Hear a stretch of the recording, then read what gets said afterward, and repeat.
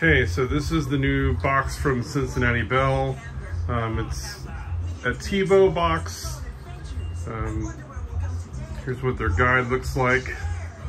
Pretty nice looking guide. Um, you can kind of see some of the TiVo stuff. You can hear the little TiVo buck noise when it... so this also has apps and stuff built into it, which is really cool.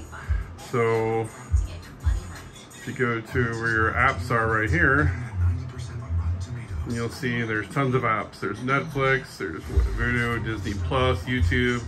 They can do Spotify on here, Peacock, um, you know, all kinds of stuff. And you can you can download more from the Google Play Store too.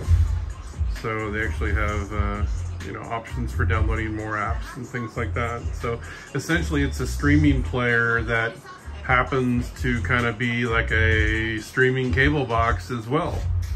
So yeah, it's actually pretty cool. The only downside to these right now is that um, we have officially no way to control these. Um, I've been trying to get with Cincinnati Bell, but they don't seem to have the information.